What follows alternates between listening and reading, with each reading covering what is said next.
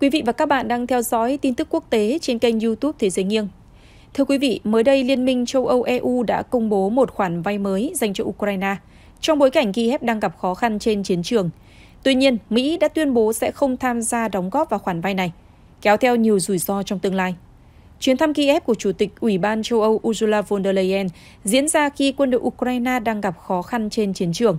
Ở mặt trận phía đông, các lực lượng Kiev đã buộc phải rút lui trước thế tiến công mạnh mẽ của Nga. Trong khi đó, tại tỉnh Kursk, Nga đang dần giành lại lợi thế tại những khu vực mà Kiev tuyên bố giành quyền kiểm soát trước đó. Hãng thông tấn Ukrinform dẫn thông tin từ Bộ Tổng tham mưu quân đội Ukraine rằng trong ngày 20 tháng 9 có tổng cộng 190 cuộc giao tranh trên tất cả mặt trận, trong đó mặt trận Kurakove thuộc tỉnh Donetsk là nơi nóng nhất.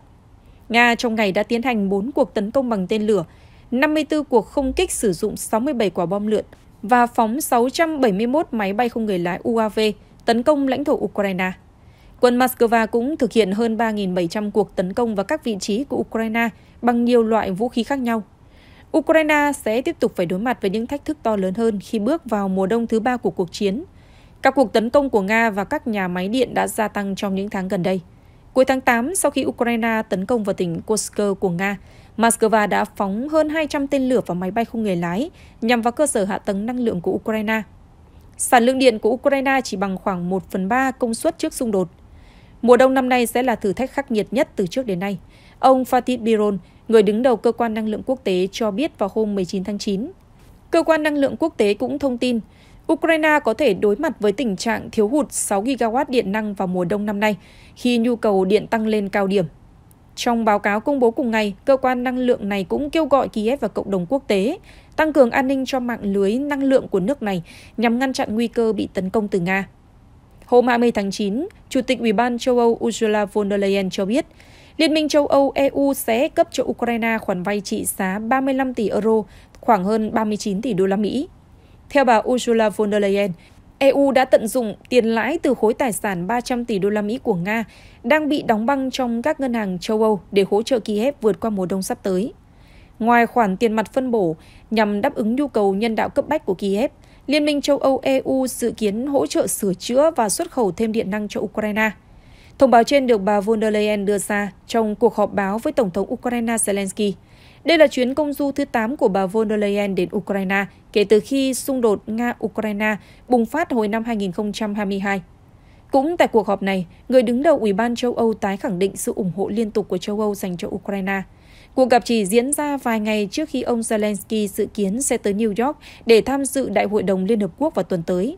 Tại cuộc họp này, nhà lãnh đạo Ukraine được cho là sẽ trình lên Tổng thống Joe Biden một kế hoạch chiến thắng nhằm chấm dứt cuộc xung đột hiện nay. Theo các nhà quan sát, khoản vay mới nhất mà EU vừa công bố đã mang lại hy vọng kéo dài thời gian cầm cự cho Ukraine trên chiến trường. Các lực lượng Ukraine đang cạn kiệt nguồn lực để trang bị thêm vũ khí và xây dựng lại cơ sở hạ tầng năng lượng bị hư hại trong các cuộc giao tranh với Nga. Ông Jacob Kierkegaard, một thành viên cấp cao tại Viện Kinh tế Quốc tế Peterson có trụ sở tại Bruxelles nhận định rằng khoản vay này là dấu hiệu cho thấy EU đang từng bước trở thành người ủng hộ chính của Ukraine, khi Mỹ được cho là sẽ không tham gia đóng góp cho khoản vay này. Song song với điều đó, tổ chức này cũng phải đối mặt với nhiều rủi ro trong tương lai. Đến nay, các nước phương Tây ủng hộ Kiev đều không chọn phương án tịch thu tài sản của Nga đang bị phong tỏa ở châu Âu và Mỹ do lo ngại pháp lý. Tuần trước, Quỹ tiền tệ quốc tế IMF đã nhắc lại quan điểm của mình rằng quyết định như vậy phải có cơ sở pháp lý rất vững chắc. Bên cạnh đó, nguy cơ giảm lãi suất chung và khả năng đóng góp tranh lệch giữa quốc gia châu Âu cũng có thể kéo tụt giá trị khoản vay dành cho Ukraine. Một điểm gây tranh cãi khác là Liên minh châu Âu yêu cầu các thành viên nhóm họp 6 tháng một lần nhằm gia hạn các lệnh đóng băng tài sản của Nga.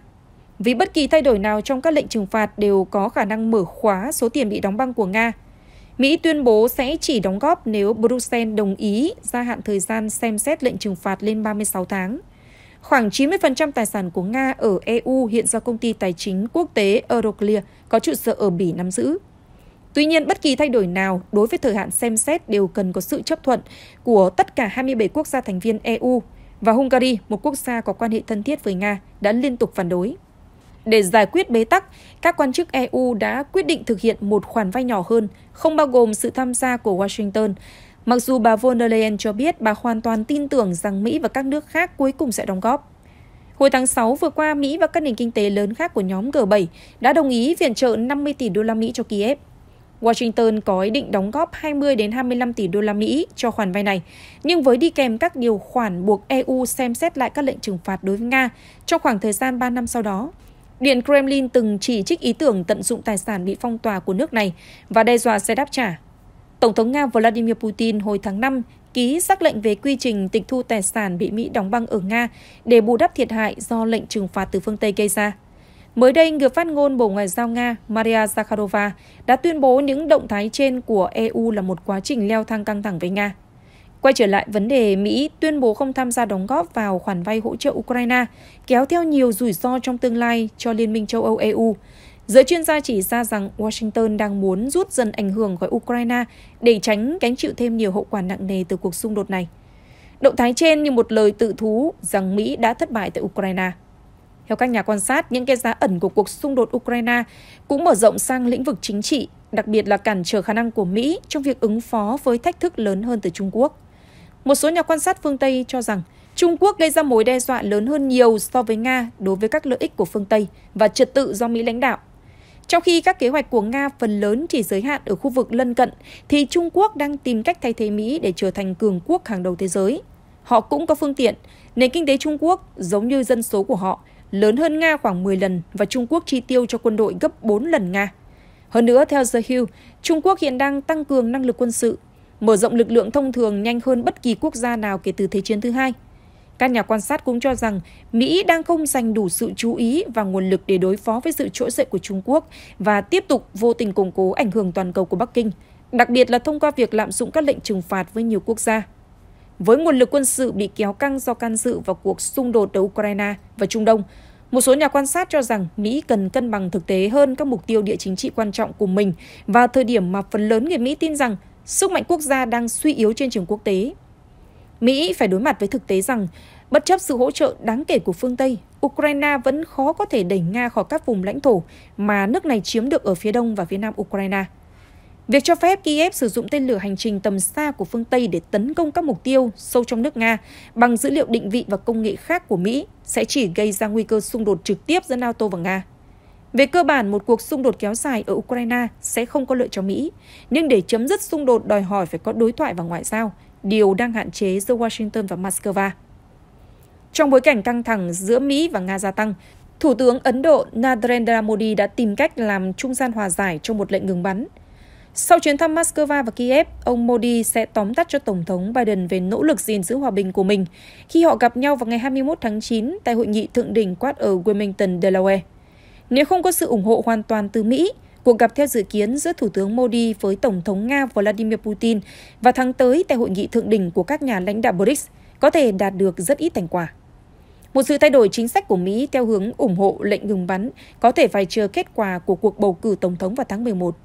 Vì đàm phán để đi đến một thỏa thuận là cách duy nhất để chấm dứt xung đột, nên tốt hơn hết, các bên cần ngồi lại với nhau sớm nhất có thể, nhất là sau một thời gian dài chứng kiến sự đổ máu và tàn phá.